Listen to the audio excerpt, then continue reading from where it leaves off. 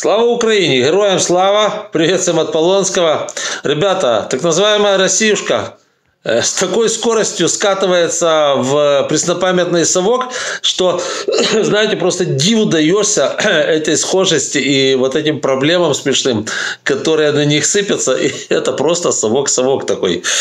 Ну вот, к примеру, кто постарше, все, конечно же, прекрасно помнят, как, э, как э, скажем так, статусной вещью была обычная жвачка. Вы помните?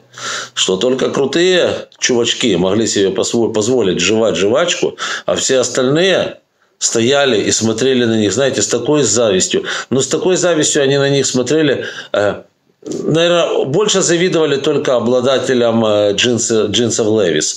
Вот тоже этим. Э, вот, вот эти два, да, две суперстатусные вещи, которые отличали успешного советского человека, это именно наличие во рту жвачки, а на попе джинсов Левис. И ну все, тогда это, это знаете, это был человек, у которого жизнь удалась. Да.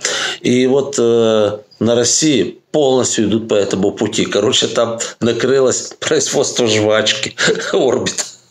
И вообще никакой жвачки больше не будет. Короче говоря, они оказались нездябными даже производить э, вот эту вот массу э, резиновую такую для жвачки.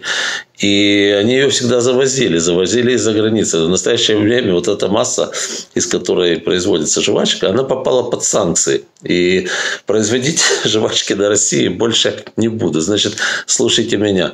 А, даю вам наколку, как вы должны поступить, если вы хотите жвачку. Вы едете э, в какой-то российский город, где есть порт, а там, значит, моряки ходят, иностранные, потом свои. И вы всегда можете, например, э, выменять, поскольку денег у вас тоже не будет очень скоро. Ну, а фубли ваши никому не нужны. Вот. Ну, а долларов, понятное дело, у вас не будет никогда в жизни.